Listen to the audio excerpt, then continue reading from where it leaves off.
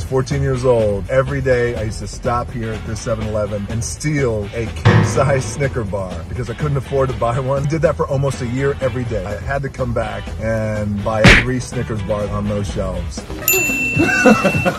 I'm gonna leave these here. If somebody looks like they're stealing Snickers, give them these so they don't steal it. Great. Wow. You're welcome. Here you go, big brother. Come on. Much 98. After decades of me wanting to come back home to 7-Eleven and try and make good, that felt really, really good. I'm out. Snickers and 7-Eleven.